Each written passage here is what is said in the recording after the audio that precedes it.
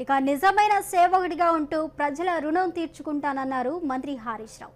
సిద్దిపేటలో జరిగిన జెండా పండుగ కార్యక్రమంలో పాల్గొని ఇంటింటా ప్రచారం నిర్వహించారు. కేసీఆర్ దీవెనలతో అన్ని దేవాలయాలు మసీదులు దర్గాలు అభివృద్ధి చేశామని తెలిపారు. సిద్దిపేటలో రెండు వందల యాభై కోట్ల రూపాయలతో నిర్మిస్తున్న అండర్ గ్రౌండ్ డ్రైనేజ్ పూర్తి అయితే పరిశుభ్ర సిద్దిపేట తయారవుతుందని ఆయన అన్నారు.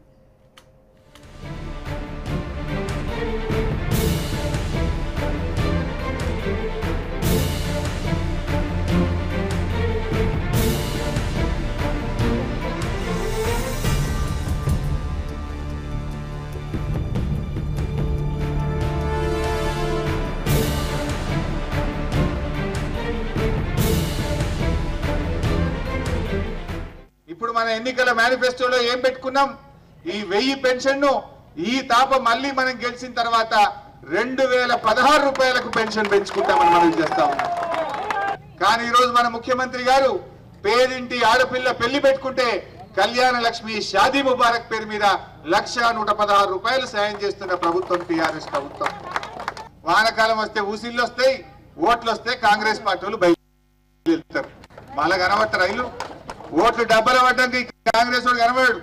వానకాలం పోగానే ఊసీలు మాయమైతాయి. ఓట్లు అయిపోతే కాంగ్రెస్ వాళ్ళు మాయమవుతారు ఎప్పుడైనా మీకు అందుబాటులో ఉంటాం. మీ కష్టాల్లో మీ సేవలో మీలో ఉంటాం. ఇవాళ సిద్దిపేటను ఒక విద్యా క్షేత్రంగా అభివృద్ధి చేసుకున్నాం. నాలుగు పాలిటెక్నిక్ కాలేజీలు తెచ్చుకున్నాం. మెడికల్ కాలేజ్ సిద్దిపేటకు తెచ్చుకోవడం మనకెంతో ప్రభుత్వ వైద్య కళాశాల సిద్దిపేటకు రావడం మనకెంతో గర్వకారణమని మనం చేస్తాం. ఒక నగరానికి ఉండాల్సిన కమిషనరేట్ ఆఫ్ పోలీస్ ఒక నగరానికి ఉండే అర్బన్ డెవలప్మెంట్ అథారిటీ ఒక నగరానికి ఉండాల్సిన ఔటర్ రింగ్ రోడ్ ఒక నగరానికి ఉండాల్సిన ప్రభుత్వ వైద్య కళాశాల ఒక నగరానికి ఉండాల్సినటువంటి కొమటి చెరువు.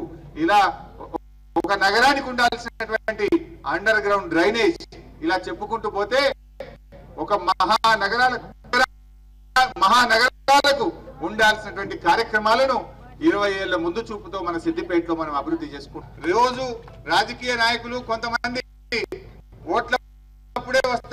కానీ ఓట్లప్పుడు నేను రాను ఓట్లు లేనప్పుడు మాత్రం రోజు మీ వెంట వస్తా. ఓట్లు లేనప్పుడు ఐదు ఐదేళ్ళు మీ వెంట తిరుగుతా. ఓట్లప్పుడు మాత్రం పార్టీ బాధ్యతలు మోస్తా. మీ అందరి సేవలో నా ఊపిరినంత కాలం సేవ చేస్తా మీ రుణం తీర్చుకుంటా అని చెప్పి ఈ సందర్భంగా తెలియజేస్తూ